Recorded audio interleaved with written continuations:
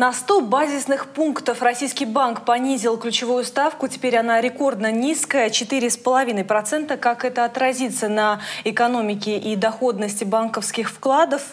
Именно об этом сегодня поговорим в нашей студии. С нами Олег Сайгушев, директор филиала «Открытие брокер». Здравствуйте, Олег. Добрый день, Юрий. Расскажите, пожалуйста, снизится ли ставка снова и как это отразится на людях? Да, мы увидели в текущий момент, да, в условиях борьбы с э, пандемией, как мера поддержки экономики, многие центральные банки, э, наш в том числе Центральный банк Российской Федерации, снизил на рекордно низкий уровень 4,5%. И есть вероятность, э, что это снижение продолжится.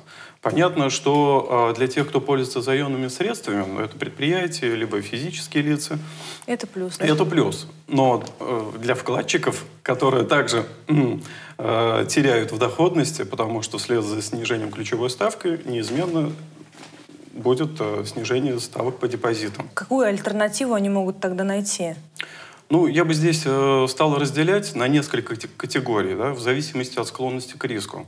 Например, для консервативных инвесторов, ну, для тех, кто э, хочет, хочет с минимальными рисками, ну, с аналогичными рисками, как в банковских вкладах, это возможность покупки э, облигаций Министерства финансов Российской Федерации, так называемые ОФЗ, облигации федерального займа. То есть их выпускает наше правительство и, э, ну, грубо говоря, берет в долг у населения, у корпораций, у тех, у кого есть временно свободные денежные средства. Надежность данного э, эмитента, то есть тот, кто одалживает, она, как мы понимаем, весьма высокая риск банкротства, то есть того, что государство не вернет деньги, в текущих реалиях он очень минимальный. То есть не нужно а, пытаться сравнить с 98 годом, когда экономика Российской Федерации была совсем в другом состоянии. А, таким образом, а, получая процентный доход, он в облигациях называется купон, ну, по старинке, когда были документарные облигации, были купончики, которые отрезали, предъявляли и получали свои проценты. А сейчас они бездокументарные, но название осталось, поэтому буду использовать этот же термин. Купонный доход, он выше, чем в банковских депозитах. А надежность соизмеримая с надежностью государственных системно значимых кредитных организаций. А, то есть даже не соизмеримо, а значительно выше. Ну и, собственно, ликвидность, то есть возможность досрочно продать, забрать свои денежные средства, она такая же, как в банковских вкладах. Единственное, нужно понимать, что там присутствует так называемый э, ценовой риск, то есть э, можно дешевле купить и дороже продать, а можно наоборот, чуть-чуть дороже купить и дешевле продать. Э, то, ну, вот этот нюанс нужно учитывать. Сколько тогда нужно иметь дохода, чтобы использовать такой, такую альтернативу? Вот да, это еще дополнительное преимущество, как у государственных облигаций, так и у корпоративных облигаций. На российском рынке они выпускаются номиналом от 1000 рублей. То есть любой гражданин, имея свободные 1000 рублей, может одолжить в долг либо государству, либо, кстати говоря, и субъекту Российской Федерации. Да, наша Ульяновская область, например, уже вот вышла на второй выпуск и готова платить 7 7 с небольшим э, процентов э, годовых для тех, кто дает в долг э, нашему субъекту. А на какие финансовые инструменты еще нужно обратить внимание лучше? Ну, помимо вот, категории консервативных инвесторов, я бы порекомендовал, конечно, для тех, кто в долгосрочную, да, ну, условно говоря, там, на пенсию, там, на несколько десятков лет пытается сохранять и приумножать капиталы, это, конечно же, да, инвестировать в акции Э, крупных корпораций, надежных корпораций. А, почему? Потому что это реально вложение в бизнес. И э, помимо получения процента от прибыли, то есть я становлюсь э, долевым участником, акционером и получаю право на получение процента, в случае, если есть, есть эта прибыль, на получение так называемых дивидендов. Ну и дополнительные плюсы, как правило, доходность в этом значительно выше, это рост курсовой стоимости. То есть э, купил дешевле, и через несколько лет эта акция станет, ну, не гарантированно, конечно, но если бизнес успешно развивается, э, э акции пользуются спросом, соответственно, по закону рынка э, спроса предложения цена тоже двигается вверх. И получать доходность кратно ну, в два, в три раза выше, чем э, в традиционных инструментах банковских депозитах, во вложениях в акции таких компаний, это реальная возможность. И а, особенно эта возможность стала а, наиболее привлекательной на сезон огромных распродаж, то есть в кризис. Угу. И надо отметить, вот текущий кризис, такой, такого масштаба, он бывает раз ну, в 10 лет.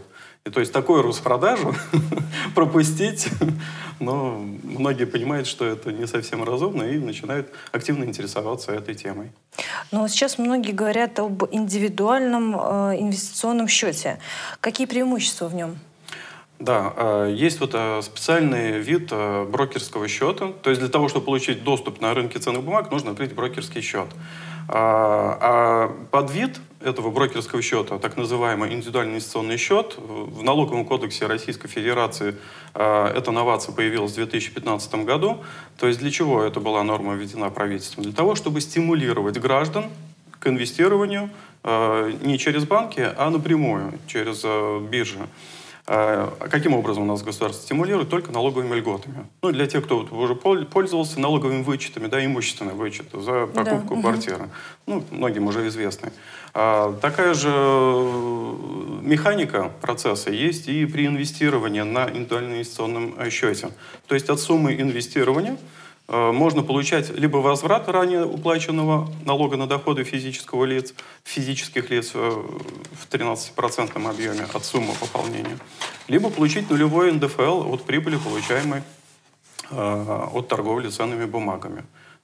Ну, это вот как раз к вопросу, э, какие, какие бывают типы вычеты. вычетов. Да? Да. Угу. Тип А – это возврат НДФЛ ранее уплаченного, и тип Б э, – это нулевой НДФЛ. Ну, надо отметить, там есть, естественно, нюансы, определенные ограничения. Ну, во-первых, один ИИС в одни руки.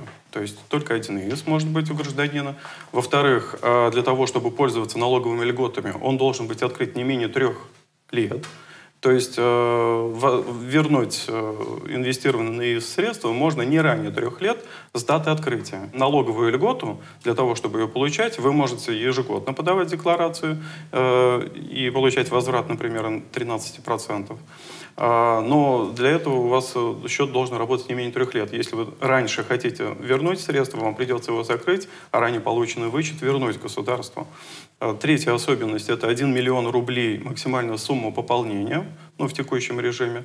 И, э, ну, понятно, как с любыми налоговыми вычетами, можно вернуть не более того, что было уплачено в бюджет. Кто не знает э, и впервые, возможно, столкнется с налоговыми вычетами, кто хочет приумножить свой доход, да, что тогда лучше им посоветовать и что нужно сделать, куда, может быть, обратиться? Потому что те, кто индивидуально это все делает, да, это все равно очень сложно, мне кажется.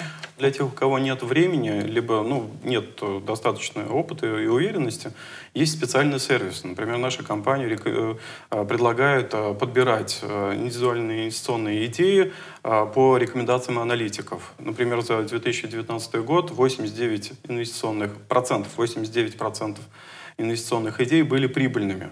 То есть это очень хороший показатель. И можно пользоваться вот этими подсказками, которые приходят в виде смс на электронную почту. Этот сервис называется «Ваш финансовый аналитик». Либо второй вариант, э, можно взять сразу портфель готовый, он называется «Модельный портфель». И э, периодически, также по сигналам в виде смс и электронной почты, э, делать ребалансировку. Что-то продать, что-то докупить, то есть, э, причем э, доходность, она существенно превышает э, доходность по индексу. И таким образом легко, просто в, в удобном личном кабинете, в удобном мобильном предложении, не требуя больших каких-то затрат сил и энергии, так же, как, так же просто, как заказать еду в офис или там домой, это можно сделать с покупкой ценных бумаг. Поэтому Все инвестировать просто, просто э, это доходно, жить в достатке можно и возможно. Приходите в открытие брокера, поможем. Получается, приумножать свой доход это все-таки реально, и те, кто все-таки сомневается, обратиться лучше в открытие брокер. Сегодня с нами был Олег Сайгушев, директор филиала «Открытие брокер». Спасибо. Спасибо. До скорых встреч.